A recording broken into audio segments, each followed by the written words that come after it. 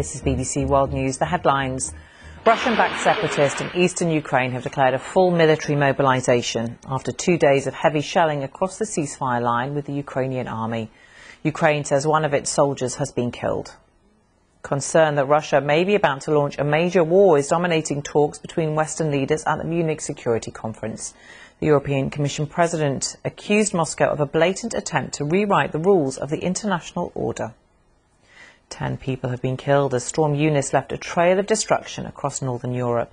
Deaths were reported in the Netherlands, Belgium, Britain and Ireland. Boris Johnson has given police a set of written answers to allegations that he broke coronavirus lockdown regulations with parties at his Downing Street offices and flat. He was one of more than 50 people questioned.